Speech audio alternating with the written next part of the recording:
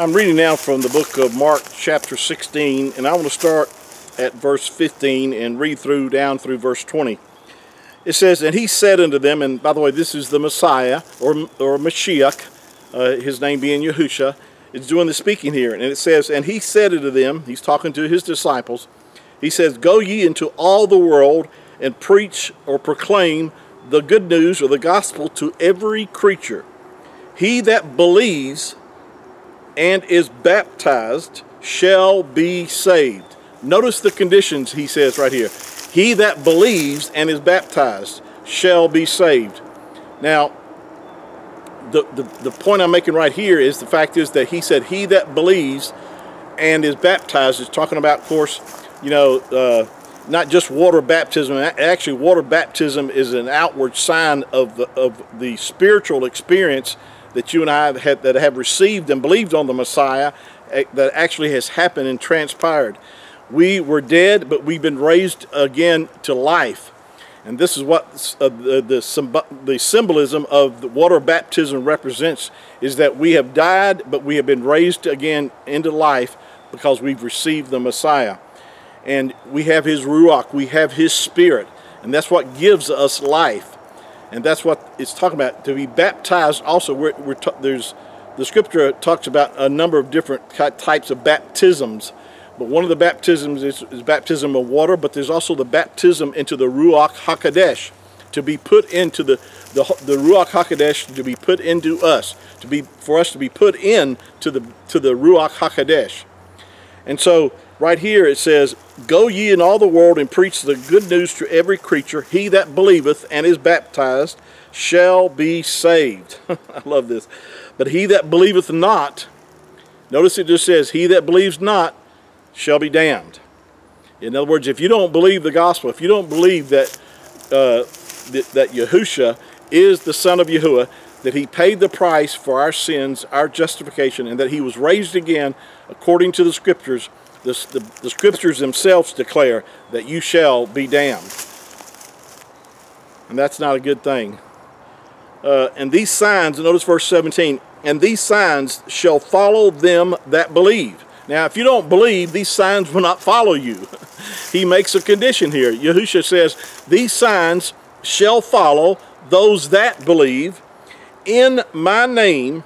Now, again, the Messiah's name is Yahusha, and we know that it's Yahusha because of our past study, and I don't have time to just to break all that down for you again, but his name is Hebrew, and uh, he, he carried his father's name, and the father's name is, our Creator's name is Yahuwah, and his, his name being Yahusha was the name that he was given by his parents. This is the name that Gabriel told uh, his parents to name him because he, he said that in Matthew chapter 1 verse 21 he says for he shall save his people from their sins. And, he, and all Hebrew names have all proper Hebrew names have meaning to them and his name the Messiah's name definitely had meaning to it and it declared that Yahuwah is Savior or salvation which Yahuwah declared he was our Savior in, in salvation all through the Tanakh. There's, there's many of scriptures I could give you that Yahuwah declared himself as Yahuwah, your Savior or your Mashiach. He declared that many times. He also declared that he was the Savior of the whole world, not just for the Yasharel, but he was the Savior of all the world. and um, let me finish reading this. It says, In my name shall they cast out devils or demons. In his name they shall cast out demons. They shall speak with new tongues. They shall take up serpents, and if they drink any deadly thing, it shall not hurt them. Now, let me just say this about this because this part here about taking up serpents and drinking any deadly thing, you know, a lot of a lot of people have taken this, and you know, people have uh, what they call snake handlers, you know, and and and all that. This is not what it's talking about here. It's it's talking about that we have power over the power of the enemy. Of course, the serpents represent uh, Shaitan, but it's also talking about, and he says here, any deadly thing that actually you and I could, can use our faith and in the name of Yahuwah overcome any deadly thing like like poison or even even a, uh, if we were if, if you were bitten by a snake that you actually could overcome that. Now again Not everybody believes these verses, but you don't go out and tempt Yahuwah by handling snakes and uh, and drinking arsenic or whatever. You know, those that, that's that's being tempting, and that's that will cause you know you you that's stupidity, and uh, that's not what it's talking about here. But I did have to mention that to you because some people think I'm, I'm preaching uh, you know handling snakes and all that. I'm not. Um, but it does say that, uh, and actually it, it, it says uh, if they take up serpents or if they drink any deadly thing, it shall not hurt them. They shall lay hands on the sick and they shall recover. Now, again, you have to believe that. This just doesn't happen if you don't really truly believe it. It, it happens to those that believe. They can lay hands on the sick and the sick shall recover, but they do it in his name. In the name of Yahuwah, the name of Yahusha, which is Yahuwah is Savior or salvation. And it says, they shall recover. I love that. So then after Yahuwah uh, had spoken of them, he, had, he was received up into heaven and set on the right hand of Yahuwah.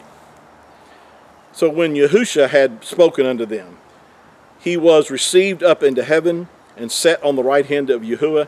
And they went forth, talking about the disciples, and they preached everywhere, Yahuwah working with them and confirming the word with signs following. I love this. They went forth and preached everywhere. Notice they did the preaching. They, we have a part to play. And the, the part that we cannot play is healing the sick. Because it says Yahuwah was working with them. But they had to proclaim, you know, healing to the sick. They had to take authority over sickness and disease. They had to lay hands on the sick in his name. And Yahuwah's job was to confirm his own word with the signs following. But they had to go forth in faith first, and then Yahuwah watches over his word to perform it. May these words help you today, encourage you to go out and, and, and, and, and lay hands on the sick and see them recover in the name of Yahuwah. Shalom.